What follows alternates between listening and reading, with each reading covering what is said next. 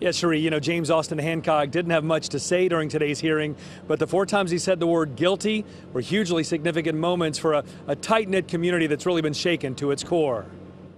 The child is charged with four counts of attempted murder, felony in the first degree as if he were an adult, four counts of felonious assault, felonies of the second degree, and one count of inducing panic.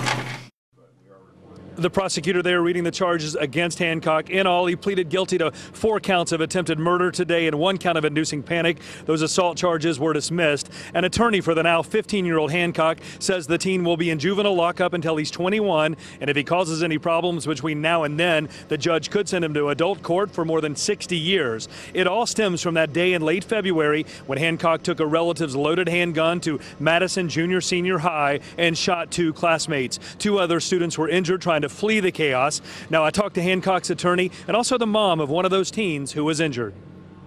You're dealing with the mind of a 14 year old. He was 14 at the time. And there really isn't a motive, a good motive for what he did. He should be charged as an adult. At 15 years old, he knows better. Period. Still no indication of a motive, as you heard attorney Charlie Rittgers say. Now, that woman was Ginger Weaver, her son hit by shrapnel. She says she feels sorry for the Hancock family, but uh, she says she's just standing up for her son, who she knows could have been killed the day Hancock decided to pull the trigger. Reporting live in Hamilton, Todd Dykes, WLWT News 5.